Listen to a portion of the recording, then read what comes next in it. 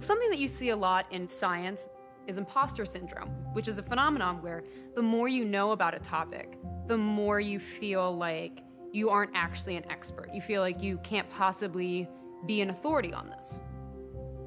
On the flip side, there's something called the Dunning Kruger effect. The Dunning Kruger effect is a psychological uh, finding that people who don't have uh, knowledge or expertise about something tend to have a false confidence that they are, in fact, very knowledgeable about something.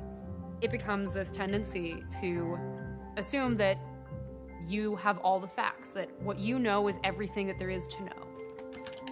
If you get online, you'll see pages and pages of so called evidence that seems scientific, right? Here's an equation, here's a diagram and you go, huh, you know, maybe they're onto something there, then I feel like that's just as good as an opinion of a physicist or a consensus of, you know, 20